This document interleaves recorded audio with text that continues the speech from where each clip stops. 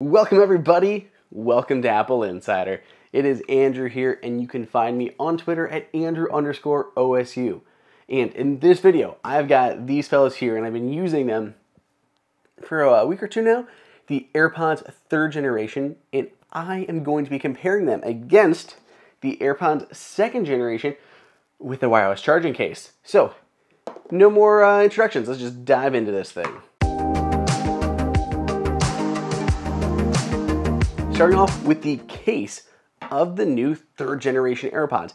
As you can tell, it has this new design. It's a little bit of a combination of the second generation AirPods case and the AirPods Pro. It's a little wider than the regular AirPods case, but it's also a little bit shorter. And pretty much the same thickness. It still charges with lightning at the bottom, and yes, it works with wireless chargers. But new this time around is that the third generation AirPods now fully support MagSafe. And by that, I mean there's a new ring of magnets hidden in the back of this. So if you have a MagSafe charger, you can go ahead and set this on there and it'll properly align itself perfectly in the center, which is helpful for making sure you're getting good wireless charging speeds, but more so if you have any vertical MagSafe chargers. I have a ton of stands around my house. There's Belkin ones, there's the ones from Native Union that you see a lot, Nomad ones. There's a lot of vertical MagSafe chargers. But with this MagSafe um, magnets in there, you can just bring your AirPods 3 near them and set it on there and it'll hold up. So you can now use your AirPods 3 with any vertical MagSafe chargers as well as flat MagSafe chargers and any wireless chargers that you have. So that is another difference here, just a little difference between the cases of the AirPods 3 in the AirPods 2. Let's bust these things open and check out how the earbuds themselves have evolved. The new AirPods 3 again look a little bit like AirPods Pro as well as the regular AirPods. They have a shorter, squatter design and they've adopted the force stems for control rather than the tapping gestures of AirPods 2. They don't have the silicone ear tips of the AirPods Pro, so they still just go into your ear, but they're a little bit more bulbous now and they fit into your ear a little bit better, but it really depends on the person. For me, AirPods 2 actually sat in here really nice, but the stem looked a little awkward. And then if we go to the new AirPods 3, they just don't sit in like my ears like too small. They're like just a little too big for me. They hold in well enough. I can run around and I'm, I'm probably fine with them in there. If I tilt too much, I can probably get them to to kind of pop out. But the fit just doesn't feel as good for me personally. It's definitely going to be a person by person basis, but yes, a new fit to these. Now, one feature that is unique to the AirPods 3 that no other AirPods have is a new skin detection sensor. So, regular AirPods, even AirPods Pro, have these sensors that determine whether or not they're in your ear. And it's basically just a kind of a proximity sensor. And it would get triggered inadvertently if you would throw your AirPods in your pocket or some other small location where it would get in close contact with something. This new skin detection sensor is a bit more accurate, so it's not going to inadvertently start playing audio just because you dropped your AirPods 3 in your pocket. It'll really just detect whether or not they're in your ear. And if they are, they'll start playing again, and as you remove, they'll go ahead and pause your content for you. The new AirPods 3 have improved resistance. They now have IPX4 water and dust resistance here, which make them pretty good for most usual activities. It's the same rating as AirPods Pro, so you can just go ahead and wear these to the gym and everything like that without having to worry about dust or even a light rain damaging them. I honestly have never had problems with my regular AirPods in those situations, but Apple wasn't advertising them for that. They did not pledge that IPX4 resistance like they did for the AirPods Pros. So I'm glad for them to kind of formalize it here with the AirPods 3. As for the sound of the new AirPods 3, it's definitely better. I mean, just looking at these, you can see how much more space they take up, so it's unsurprising they are a little bit fuller and have more bass.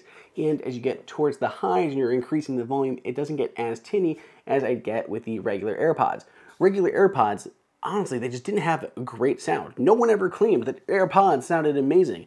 AirPods Pro sound significantly better, and these are on the right track. They sound better than AirPods 2, but they're still not as bass heavy or as full and rich as AirPods Pro. There's probably better sounding earbuds in the same price range, but they do sound better than AirPods 2 and they're coming in at similar prices, so I can't really be too angry about that. Apple says they designed an all new acoustic system for the AirPods 3. As I said, the audio does sound better, but it's doing it in a few different ways. Not only are there new drivers inside, but Apple has also brought adaptive EQ from the AirPods Pro to just these regular AirPods. Adaptive EQ is actually using an inward facing microphone to listen to the audio in your ear and adjust it on the fly to how you hear it. That way, what is going into your ear and the music that's being played is being played how it's intended to sound. It's a really cool little bit of computational audio. It works best with Apple Music, but it supports other music sources as well. Another change with AirPods 3 is Apple is now officially supporting spatial audio with head tracking, using these gyroscopes and motion detectors in the AirPods themselves to know where your head is facing. So if I'm sitting back and I'm watching a movie on my iPhone, my Mac, heck, even my Apple TV, I can actually have that audio following the source. So if my phone is here and I turn my head, the audio is still going to sound like it's coming from that direction.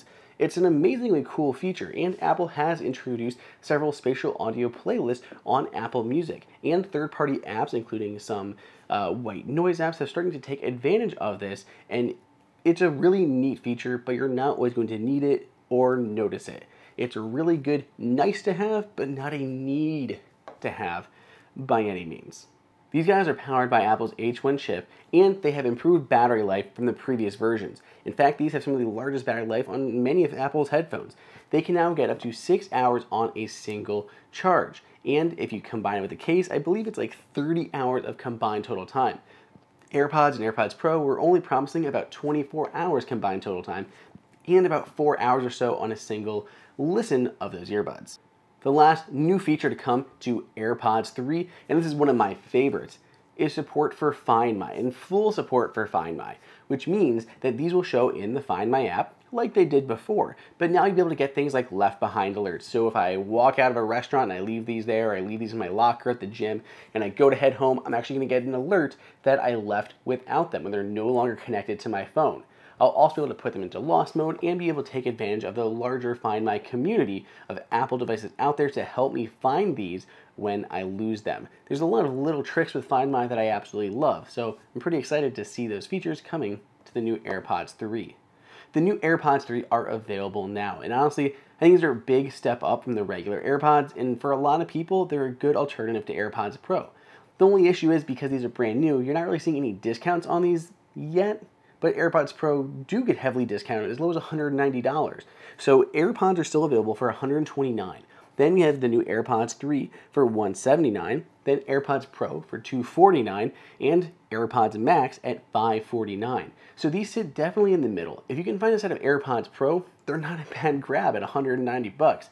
But if you're looking just to save a little bit of money and you don't need the ANC offered by the AirPods Pro, the AirPods 3 are a great grab.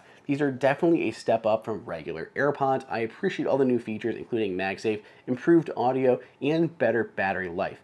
Let me know what you guys think over on Twitter at Andrew underscore OSU. And if you'd like to grab a set of AirPods 3 or a set of AirPods, AirPods Pro, we've already started collecting the best deals as they become available and are updating them in the links down below in the description. Check you guys next time.